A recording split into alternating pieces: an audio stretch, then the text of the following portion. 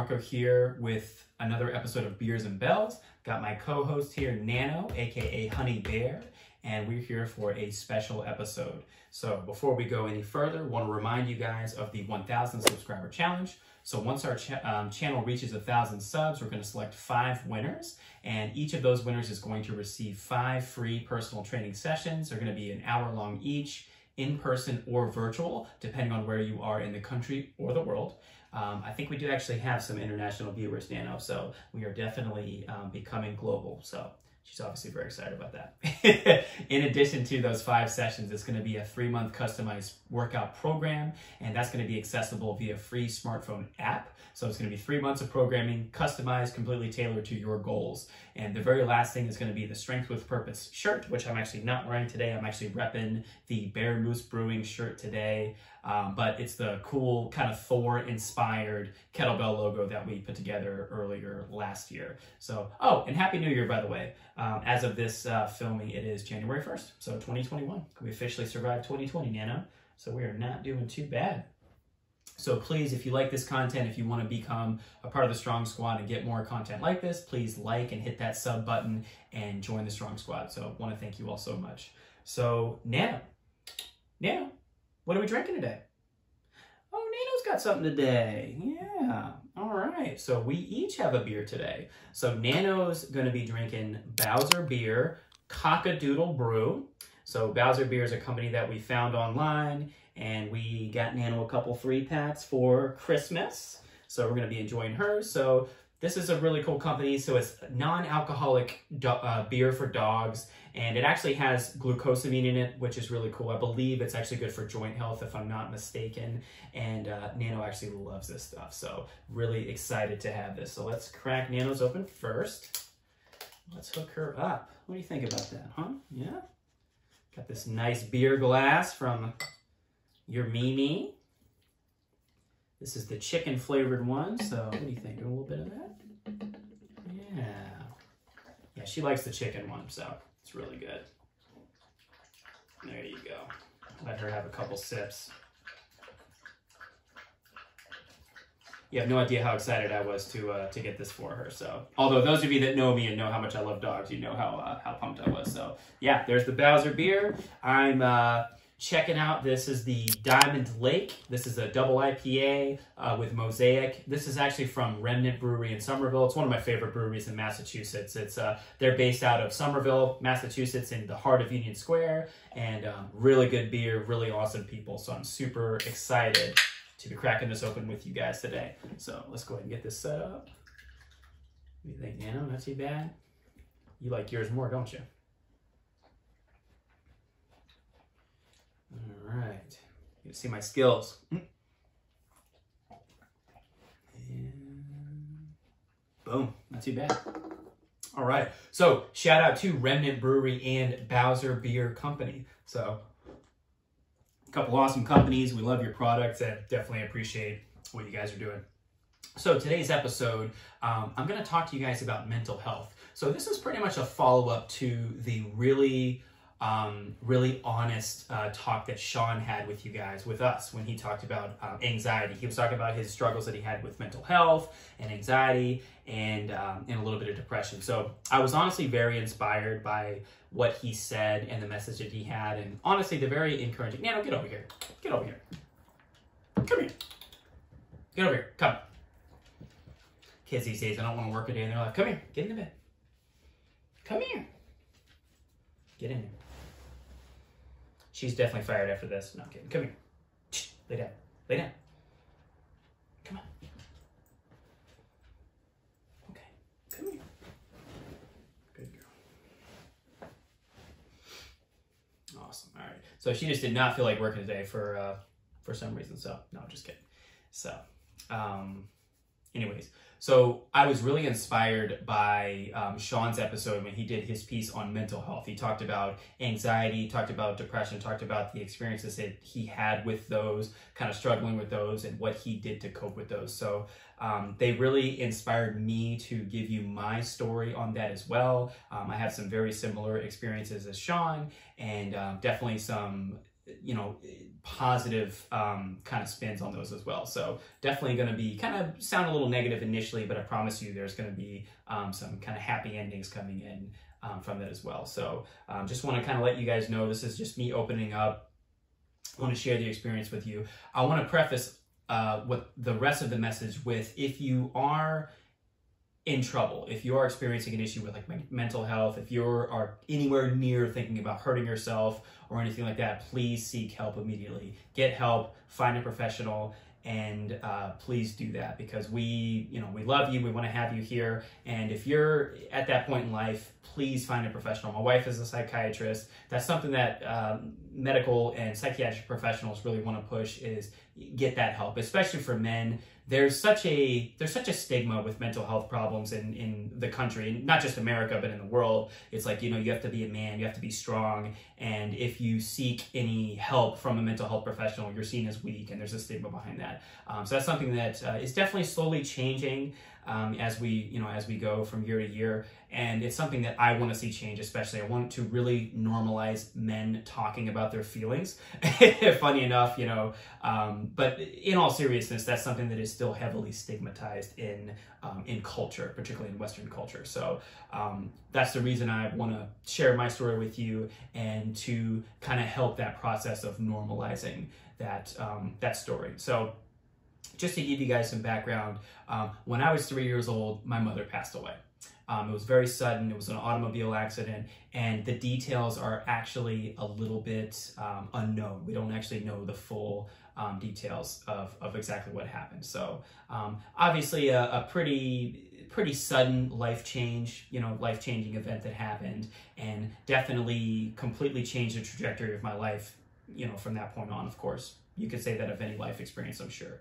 So definitely, you know, experience that. That was a that was probably a big trigger, of course, a big a big life experience that caused that. And kind of coupled with that, all through elementary school, middle school, and even a little bit through high school, um, I was bullied incessantly. I got my ass kicked. I got pushed down by a bunch of kids in the playground. I remember getting actually choked out during uh, during science class in second grade when one of the classmates, or one, excuse me, when the teacher left, and uh, actually he got me in a chokehold, and guy was twice my size, so it wasn't really anything I could do about it, uh, and definitely kind of.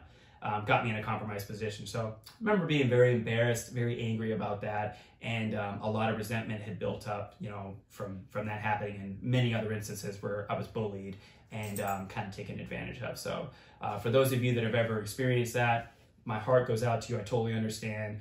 And um, those experiences definitely stick with you uh, for life. You definitely, you don't stop thinking about that kind of stuff even as you're older. So, um, but that being said, it, it is important to kind of process these issues and, and, definitely move forward.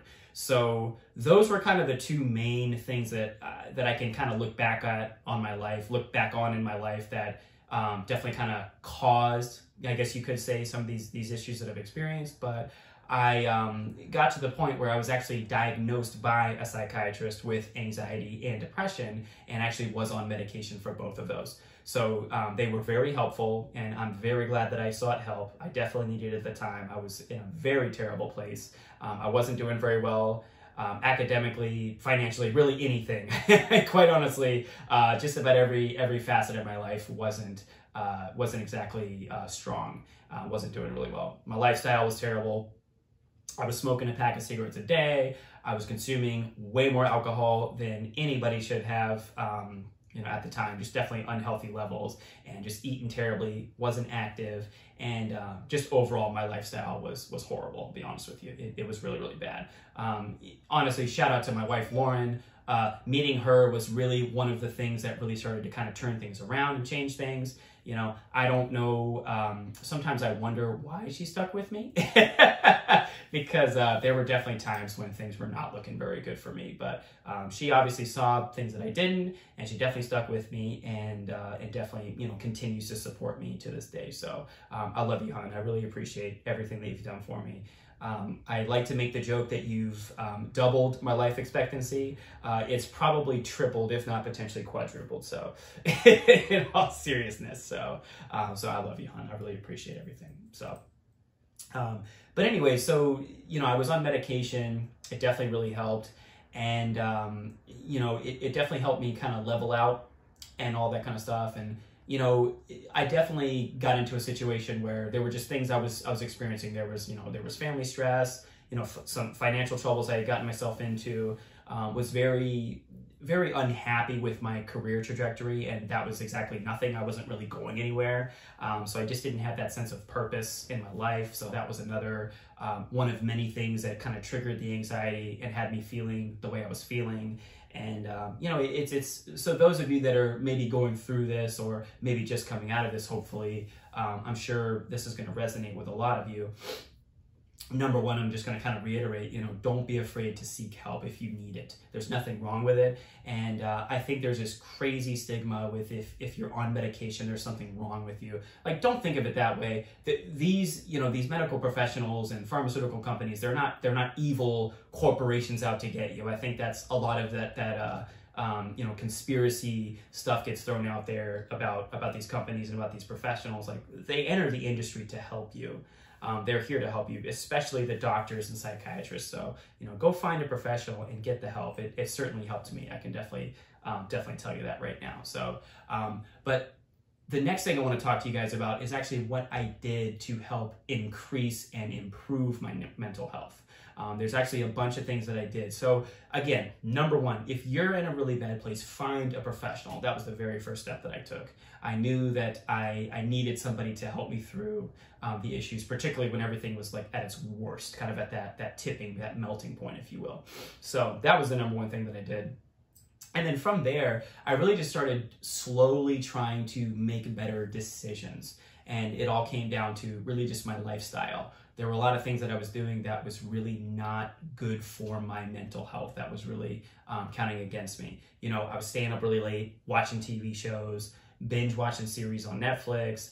Um, again, I told you I was a, I'm, I'm a, you know, proud to say now I'm a former smoker. Um, you know, that was another thing that I did. You know, quit smoking, and that obviously increased my physical health, but then also definitely helped with my mental health. It really, really helped decrease my anxiety symptoms. So um, it's actually funny when you're a smoker and you you know you're at work or something stressful happens and you just you crave that cigarette you think that you think that cigarette's going to make you feel better. Um, but it's so funny how like in the moment you feel quote unquote better but it just that that addiction kicks in and then you're just you're just craving more and more and more and more and more. And then you just, you find yourself getting wound up even even tighter um, than you were before. So it's uh, you know it's like the dog chasing its tail it's a, it's a vicious cycle to get into. So um, I will say this, I'm not going to lecture you, but I will say quitting smoking was one of the best decisions I ever made for my physical and my mental health. So um, if you're if you are a current smoker and you're thinking about quitting, you know when you're ready to make that decision, I 100% support you. I think it'll be a really good thing for your health and for your life. So um, that's one thing that I'll say. Another thing, ironically, as I sit here and drink this delicious craft beer, is I heavily cut down on my alcohol intake. I found that it was really the the drinking, the junk food eating, and the lack of sleep and everything was just really it was wearing my body down, and it was really just wreaking havoc on my mental health. It was just putting me in a bad state. I was waking up the next day feeling terrible, and it just everything was just counting against me. All all you know, all the variables. The chips were stacked against me, if you will. So that was another thing I did. I really um, cut back on that, started drinking a lot more water, cut back as well on the soft drinks. You know, now my rule is I don't drink a soft drink unless I'm out somewhere. I don't buy soda and put it in the fridge. So that's uh, kind of one of my little things that I did. And uh, and just really really cutting back on the alcohol really helped. So that was another another one of many things that i did. So obviously there, there's the obvious one. You guys know i'm a personal trainer. I love to work out and train. That was another really big thing that i did as well. Just just training my body working out um, lifting weights you know walking my dog nano just being being active um, at some capacity every single day has really helped you know doing mobility doing stretches and all that kind of stuff. So that was another thing that i did that really helped me again. It, it, of course improved my physical health but it really improved my mental health and it's really helped with my confidence really helped decrease my you know anxiety and depression symptoms um, to the point where i actually feel really really good and um, they've really just helped um, just naturally um, level me out and have me feeling better so uh, that was another step that i took working out has been my saving grace, especially during this pandemic. You know, we're you know, I'm in Massachusetts and we're going through our second shutdown right now. You know, gyms are closed and you know unemployed at home. So uh, working out has been a good outlet for me to burn off that extra energy and to to stay sane. So which obviously you guys know that my um, my big uh, our big slogan that we use is train your body, feed your mind. The very next thing I would say is just reading, reading and learning and improving, even if it's you know um, just a few minutes out of the day. You know, I love listening to podcasts, listening to audiobooks, reading books, and I like to learn something. And typically, I'll learn something about fitness or about business or sales or entrepreneurship or uh, productivity or self improvement, kind of that that kind of realm, if you will. So um, I find that if I if I train my body and if I feed my mind and learn something that day, I feel very content with the day. I feel like the day was well used and that the time wasn't wasted. So it's definitely something that, that I also did and continue to do in order to help enhance my mental health. So the other thing, I'll be honest with you, uh, one of the biggest steps I, I took, and this was just a selfish one, was um, getting a dog. Uh, having a dog, um, dogs are just obviously a great companion. They're super fun. They're always happy to see you. and uh, for them, I would say 99% of, of my interactions with Nano are very positive. So um, she doesn't like to take a bath, so she gets she kind of gives me the side eye uh, whenever it's bath time, which is why her mother usually is the one that bathes her because um, I'm the weak one and she's definitely the the bad cop. I'm the good cop. so, um, but anyways, having a dog is great. It's the the chance to show unconditional love for another creature um, you take care of her. I have to take her outside. I, I have to be active because if I'm not, she's going to get anxious and she's going to start chewing and, and, become destructive in the home. So it's um, it's very important to make sure that Nano gets her activity. So uh, by default, she actually forces me to be more active, which is really really good. And um, obviously, everyone loves you know most people love dogs, so it's also a really good social buffer, um, a really good way to kind of meet people and um, and just kind of you know, just have positive interactions with people. So that's another positive one there. So she's obviously tired of this conversation already. So you getting bored with me? So love you. So those are the really the main things that I did that really helped me um, enhance my mental health and just feel better. And I'm happy to tell you right now that um, I'm I've been a non-smoker for the last I believe I think I just hit seven years recently. So very proud to be able to admit that to you guys. I, um, like I said, I'm much more, much more physically active than I was before, working out consistently. I'm currently training for a very intense kettlebell challenge uh, that has required a lot of effort from me. So it's, it's great to be able to do that and kind of have something to focus on. And, um, you know, I feel great, you know, life's, life's, life's good. I'm not on the medications anymore. I haven't been on them for, um, a couple years now. And I, I feel, I feel awesome. You know, I, so that, that was really kind of the main message I wanted to tell you guys is that no matter where you are, things things can and will get better. You know, I think this year especially was stressful with the pandemic, the shutdowns, the economic downturn, um, you know, deaths, people getting sick, a lot of fear and a lot of uncertainty in the world. But there there is still a lot that you can do in order to make yourself feel physically and mentally better. So I just want you to, you know, be hopefully a little bit inspired by this story to know that there are steps that you can take to actually improve your situation, particularly, like I said, with your mental health. So, you know, you, you know, no matter what's going on in the world, you can still, you know, do a couple push-ups, do some jumping jacks, some, you know, sit-ups, some, um, you know, if you have a jump rope, whatever, go walking, take the stairs, and um, and little things like that to increase your activity. You know, obviously, if you're watching this video, you have access to the internet. You can go online. Um, you can, of course, if you want to have, I'm an old school guy, I love physical books, so you can you can get books on from the library or from Amazon or whatever. Or if you just want to read articles online, you can do that as well. So you, there's a lot of things you can do. There are a lot of things you can do in order to you know train your body and, like I said, feed your mind and um, and definitely help enhance your mental health. So, uh, but I still want to reiterate that if you if you are in a in a dark place, and I've been there, so I can definitely relate to you there. You know, I, I have been in that dark place before, and I know when you're in in there, when you're when you're feeling it. Um, it feels like it's never going to end. You feel like that life's going to be terrible, and you find sometimes find yourself wondering, you know, what's the freaking point? And um, I just have to tell you, if you get there, please find a professional and go seek help. Um, it's you know it's it's worth it. It's no one's gonna you know the people that matter at least aren't they're not gonna call you weak. There's nothing wrong with you. As men, it's more important for us to battle our demons and find that balance so that we can be good fathers, husbands, spouses, you know, members of the community, business owners, employees, um, dog owners, whatever roles that we decide to take in life.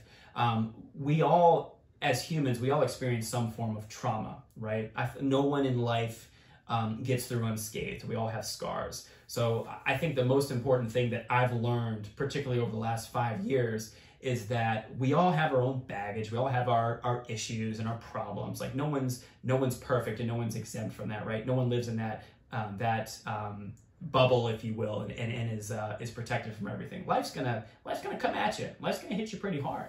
Um, but it's up to us as to how we're going to react to the situations that occur to us. So, um, you know, I told you about my mother passing away and my mental health issues and uh, my ac- academic issues I had at school. You know, I actually left college without a degree. I actually don't have a college degree right now.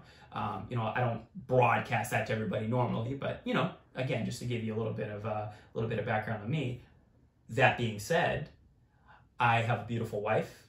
I have an amazing daughter on the way. I have a kick-ass team of coaches that I that we have put together. That we're putting together an awesome fitness business and a brand um, that we're really excited to be launching very soon. I have this amazing dog who is an excellent companion um, to me and is very loving to me all the time and just brings me a tremendous amount of joy you know, I, I'm in a position to where I'm able to actually give back to the community and I'm able to do some things to actually help some others that are in an even worse position than I am in some respects. And that brings me a great amount of joy and a great amount of fulfillment. So I'm I'm to the point in my life now where I'm grateful for the bad things that happen in my life in a, in a strange way because they brought me to this very present moment. You know, I, I, I talked to my wife about this. Um, I have talked to her about this many, many times about how um, obviously I'm not I'm not saying you should you should hope that you know you should be happy that someone died. Um, that's obviously a bit morbid. However, that moment had that not happened, I very well could not be here. You know, I could not have Lauren in my life. I couldn't have a daughter on the way. I couldn't have you know this beautiful dog and this amazing home and living in an awesome city and having all of these amazing opportunities in front of me. So a big thing for me was just processing everything that happened. And, you know, y- you can't explain everything. Sometimes, you know, as the expression goes, shit happens. It's true. Sometimes things just happen at random and you can't, you can't just, you can't explain what happened. And, and as humans, we're very obsessed with rationalizing and, and finding reasoning for everything. Sometimes things just happen. Okay. And that being said, it's up to us to pick up the pieces and figure out what the heck we're going to do with the next steps. So you know, life isn't perfect. I'm not going to BS you. We all have our struggles. I have my issues. I have my my my tough days like everyone else. Um, but overall, I'm very very grateful for the challenges that I've faced in life because they have prepared me for the next step. You know, this last year, my you know my previous challenges I had faced prepared me for this year that we just went through with obviously the pandemic, the shutdowns, and everything that happened. So, um, and I I have a feeling that the challenges I experienced this year are probably preparing me for what I'm going to face in 2021 and 2022 and beyond. You know, so I have great people around me. I'm very fortunate. I have an awesome circle of folks around me that um, support me, guide me, and push me. And um, that's one thing that obviously, if, if you do have, lean on those people in your in your darkest times, uh, because that's going to um, that's going to help you get through those tough times. So definitely, definitely do that. And um, you know, I hope I hope you have the people in, your circle that I do, um, because I, I, have some really amazing people. I'm very lucky, and um, they have probably helped me a lot more than they realize. Um, probably much more than they realize. So um, you know, I could name a bunch of people, but then it would take another 30 minutes to get through all this. So it would take up too much of your guys' time.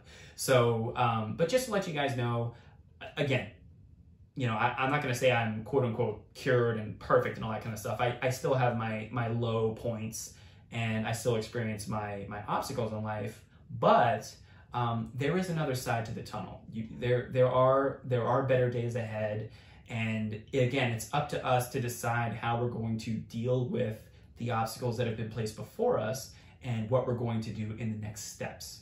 Okay, so I kind of want to, like I said, want to leave it on a positive note. Um, if you're going through, you know, a tough time right now, um, one of my favorite expressions is from a, a, movie. You know me, I love my movie quotes. Uh, the movie The Crow. Um, it can't rain all the time. It's not going to be tough all the time. Like that, you're it's peaks and valleys, right? We're going to have our our booms and our busts, our high points and our low points, and it's a very it's a very rhythmic, cyclical nature. And I've really observed this the last few years, especially how you're going to see, you know, companies do really, really well, and then they lose it all. And you know, you have you have industries that were booming pre-pandemic. Now they're down in the toilet. You know, you talk about uh, airline companies, you talk about the hospitality industry, the food industry, beverage industry. Um, you know, you talk about those industries. They were they were killing it obviously beforehand. Now they're at a very low point. The pandemic, social distancing, and everything going on. Um, now, when the vaccine fully rolls out, everybody's vaccinated, we're at herd immunity, and all that great stuff uh, guess what? Those industries are going to go back up. They're going to boom again. Everyone's going to be out eating and drinking again. Everyone's going to be, you know, getting on airplanes and traveling. Um, so there's there's a cyclical nature to um, a lot of things in life, and I've definitely kind of noticed that. So one thing, again, I know I'm kind of rambling now, but basically, if you're going through a tough time right now, it's not going to last forever. If it's a really dark time and you are experiencing thoughts, like I said, of hurting yourself, or you're in a really really dark place, seek help immediately. Find a professional and go get that help that you need. I did it. I'm very glad that I did. And I can tell you that it very well could have saved my life. So there's there's definitely a high likelihood that that's the case. So um, so definitely know that. But um, guys, I want to thank you all so much for watching this video. I really appreciate you listening to me kind of share my story. I really hope that this resonated with you. I really hope that this, hopefully, for any of you that this applies to, hopefully it inspires you maybe even just a little bit to take some steps to enhance your mental health and feel better. And, um, and just know that, um, you know, we're not guaranteed tomorrow. So the time that we have, let's try to make the most of it. Let's try to do the best we can. And, you know, we all have our our issues, we all have our scars. But again, it's up to us as to what we're going to do with the time that we have. So thank you all so much for watching. And I'm going to leave you again with this very empowering mission going into 2021 and beyond. Train your body, feed your mind.